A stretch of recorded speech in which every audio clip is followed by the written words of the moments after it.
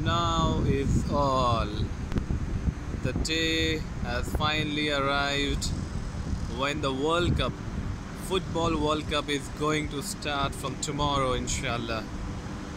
For this day, for this night only, Qatar was waiting and preparing for last 12 years since 2010.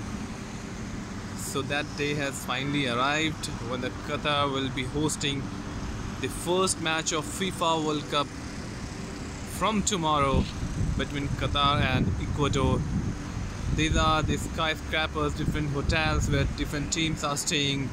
You can see that this skyscraper. This is Pullman Hotel where the team Uruguay is staying. They have arrived today in the morning and see the vibes mashallah mashallah everywhere you can see footballers their posters have been put. Mashallah. Amazing. Beautiful view. We have just come out of our office.